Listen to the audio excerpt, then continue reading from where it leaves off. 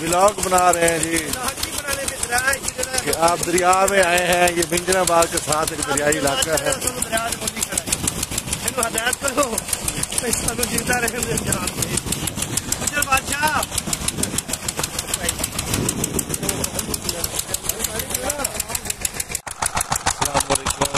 आज आपको ब्लॉग दिखाते हैं कि हम मिंटनाबाद में आए हुए हैं।